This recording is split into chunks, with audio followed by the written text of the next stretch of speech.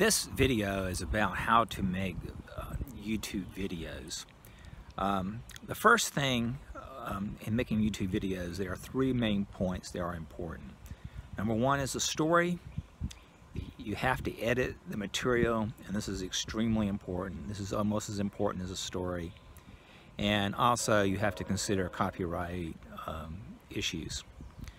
Okay, so what do we do? Well, first of all, we need to create a directory.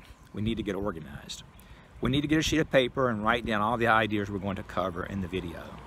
Uh, we need to know how many videos we're going to use, how many pictures we're going to use, put everything in the directory. Okay, as far as copyright thing is tricky.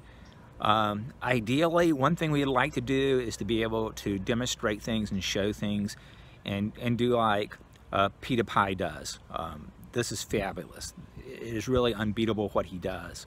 Uh, but PewDiePie does things that's really hard for most people. He's actually using a lot of content that you could get in a lot of trouble with copyright on. Um, and so this would be like the number one choice. Number two is Casey Neistat. Casey Neistat has this new 368 and he's spending close probably to a million dollars for a five-year lease on 368. It's a large room. Uh, he puts a lot into it. He has a lot of skill sets and he has massive amounts of cameras to use. And he uses drones and other things to cover his footage. And so most of the content he has are from movies that he's taken himself. And so he doesn't really have the problems that you would have trying to copy him over PewDiePie. Next um, is iJustine. iJustine's been doing this for 20 years. Um, she has a lot of expensive equipment. Um, she spends a lot of money uh, doing things and she does a really good job on what she does. Uh, next uh, is Peter Gregg. Well, Peter Gregg um, is an expert, but he doesn't do the fancy editing stuff. He just concentrates on his knowledge of cameras and demonstrating different features. This is great, but it doesn't bring the hits that you really want. Uh, next would be Ed Pratt.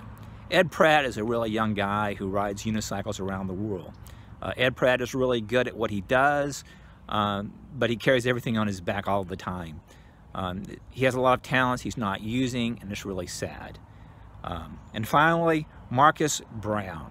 Marques Brown has been doing YouTube videos for some time and he does an extremely good job. He has a lot of very expensive equipment and most of the stuff he does um, is by manipulating things with expensive equipment. Uh, this is beyond most YouTubers. Um, and now finally software. Well, of course, the best software is going to be either Final Cut Pro X or maybe Adobe Premiere. Um, those are the best and the top. Um, I'm using DaVinci Resolve to edit this thing. And depending upon the operating system you're using, if you have Linux, there are tens and 20 different kinds of uh, video equipment you can use. Some things will be easier than others. Um, and this DaVinci Resolve to edit this on this particular video. Um, and so um, this is an example of things you can do to set things up. Uh, the copyright thing is going to be our most serious challenge. So the more stuff that we use on our own without taking pictures or using things other people's content, the better off we're going to be. Um, and so if we have any content, we would prefer to be things we take ourselves. But the editing of it is critical.